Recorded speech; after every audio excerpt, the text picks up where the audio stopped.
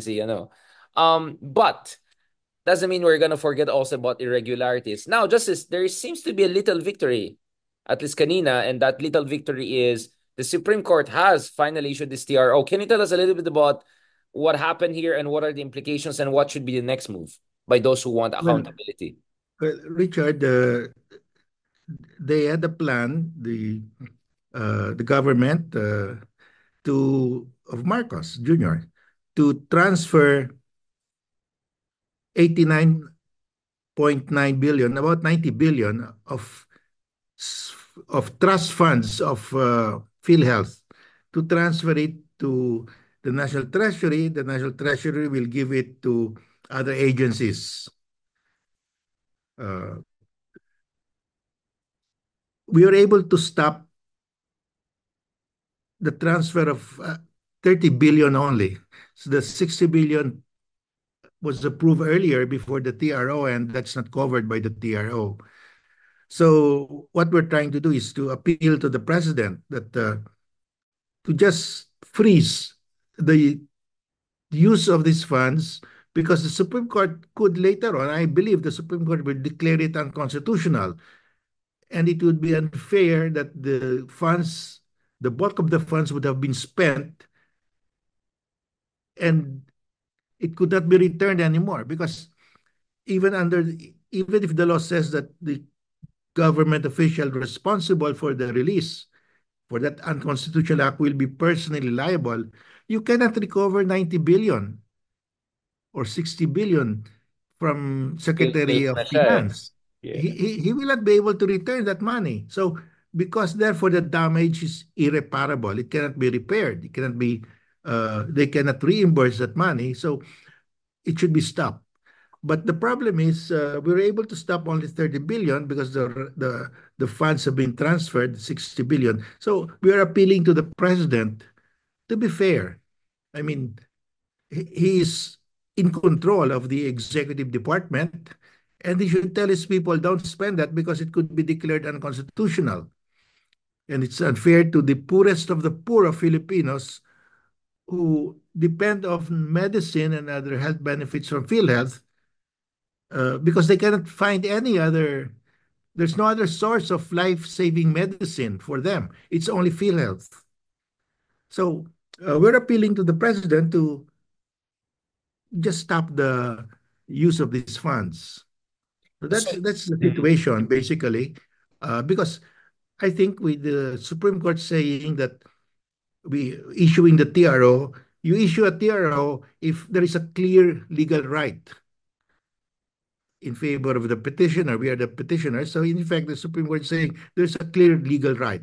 And second, uh, the second requirement is the damage cannot be repaired. So you have to issue the TRO. And in this case, the damage cannot be repaired because nobody can return 60 billion pesos.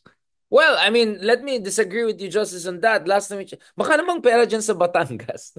just kidding.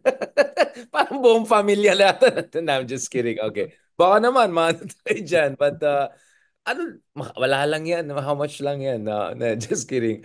Uh, just, so what you're saying here is, etong decision ng Supreme Court, Korte Suprema, is enough signal for BBM to just do executive corrective move here and wag na hintayin mapunta pa ito all the way until next year. Is that what you're saying? Na yes. Sorry, just tells you something and, is wrong, and, so you should do it. The rest you should do it yourself. Yeah, the, the argument that they need the money, there's a solution for that. PhilHealth can buy treasury bonds, and so the cash goes to the government, they can use it. But at least PhilHealth does not lose the money. The, the money is still there when the money is needed by the poorest of the poor of Filipinos. But if you allow this to be just taken out and without no chance of being returned, that's that's terrible because it's, that, that's the money of the poor, the poorest of the poor. So I think the happy solution is for the president to say, okay, return the money, PhilHealth, you buy treasury bonds, so the cash goes back and the government can use it for whatever it wants.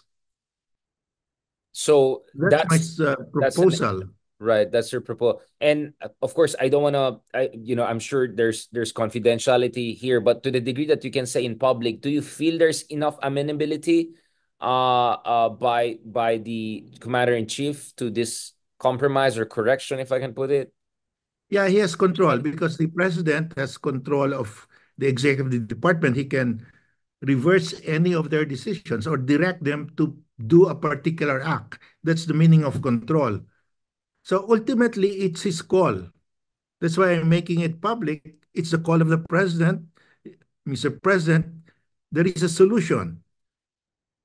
And you can do this to save the poorest of the poor. Eh, the, the ball is in his court right now. I, the Yes. Supreme Court has done its part.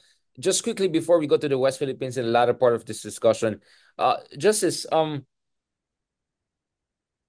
I mean, what is your read uh in terms of uh what should the opposition do if ever the president is not amenable to make a corrective move? Do you think that you have to make protests, make some kasi parating ng election eh. Um should this be a central issue for the opposition? Knowing that pwede ma-weaponize din ng mga Duterte to cover up for their own even more allegedly heinous crimes.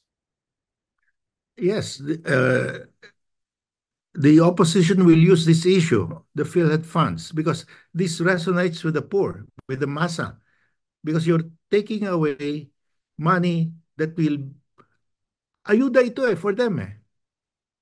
So you're taking it away from them, and it's very easy to say it's the administration who's responsible for this. They took away your medical ayuda.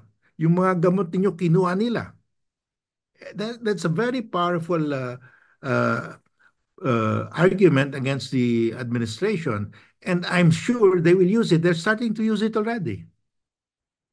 But, but the, to, to stop that from being used, the president can just order the return and then PhilHealth can just buy treasury bonds. So the money goes back to the government, but at least it was not stolen from the from PhilHealth.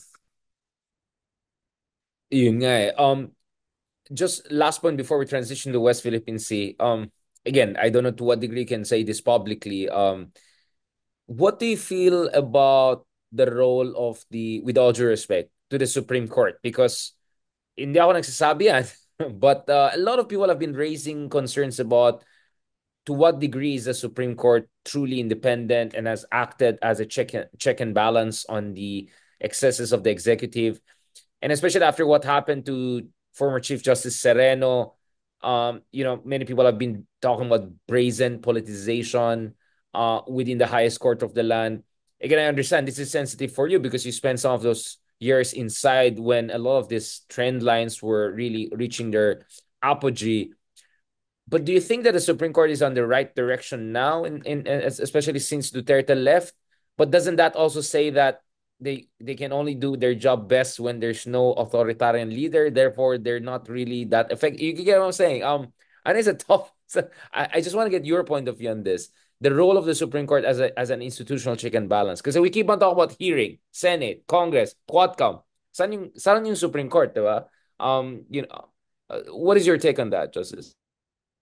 Well, uh, as you know, Richard, a lot of people are getting uh, uh, disillusioned already because of uh, corruption, because of political dynasties.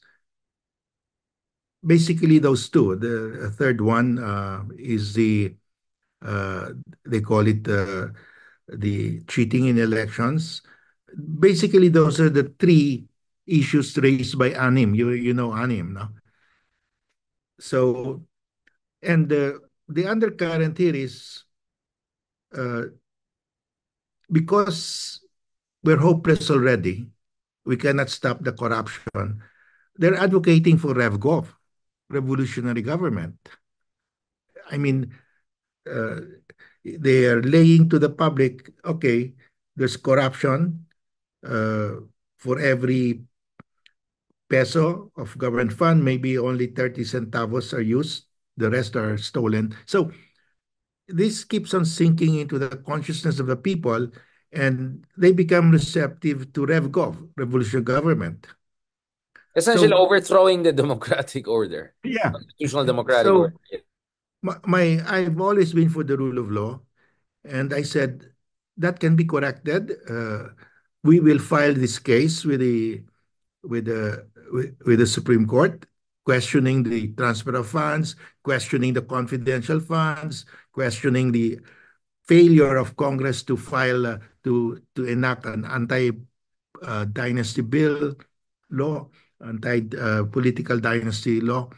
So the onus now is on the Supreme Court. Really, the way I look at it, in the overall uh, scheme of things, uh, we're reaching a boiling point where we have to tell the people don't think of RevGov because we can still use the rule of law to correct this uh, this uh, cancerous the, this cancerous growth in our society.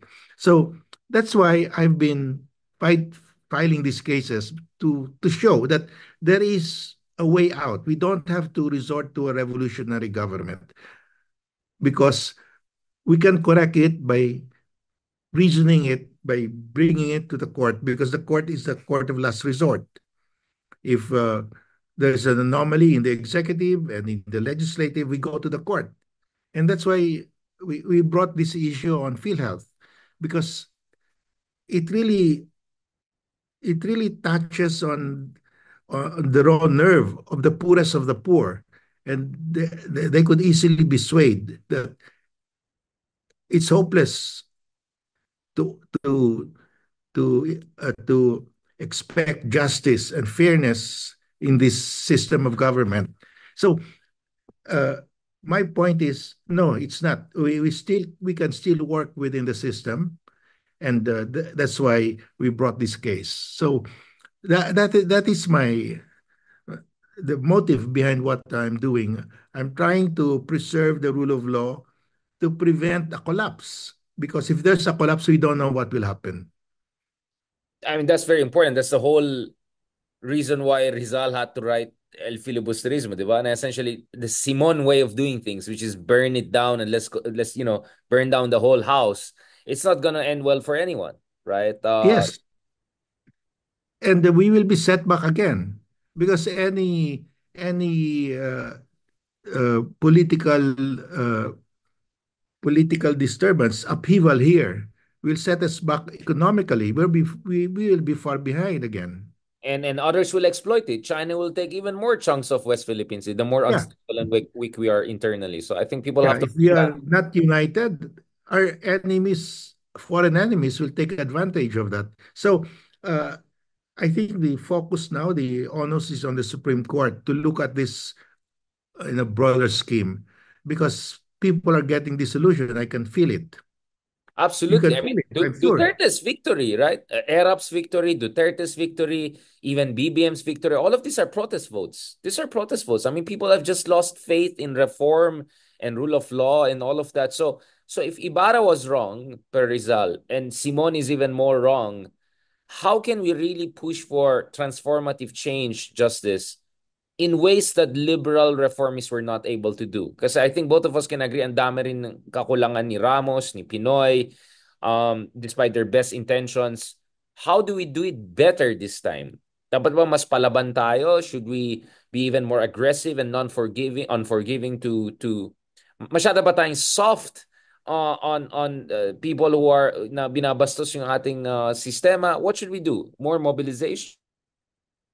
Well, we have to get back our values because we have lost a lot of our values and uh, appeal to the uh, remaining uh, the remaining bastion in government that can correct this uh, this uh, these aberrations, no?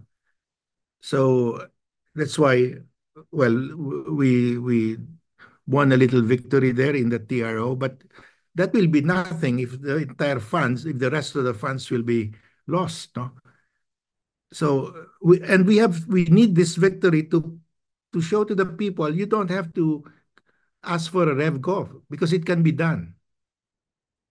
if we follow the, we follow the rule of law. I'm I'm always for that. We, that we can solve this to the rule of law, but it's difficult to to uh, to to to work on this. But we don't have a choice because the, the alternative really is uh, RevGov where, where there are no rules. Yeah, absolutely. Desperation is dangerous. I think warning shot na yung nangyari kay Digong and how far it could go with, with so to be fair also, I mean, we can talk about lack of critical thinking because of our education systems we can know, but we also have to I think this is where I come in. We also have to understand bakit bukas ang tao sa isang katulad ni Digong? Dahil desperado din sila sa tunay na pagbabago. Except yung nakuha natin pagbabago ay mas